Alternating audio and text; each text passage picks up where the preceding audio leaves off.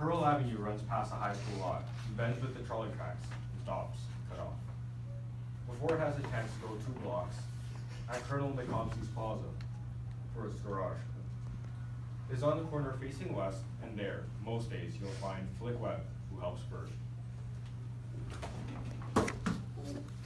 Flick stands tall among the idiot plums. Five on a side, the old bubblehead style.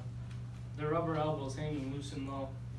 One's nostrils are two S's, and his eyes an E and O. And one is squat, without a head at all. More of a football type.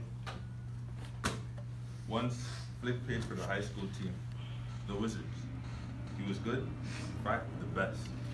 In 46, he bucketed 390 points, a county record still. I, the ball loved Flick.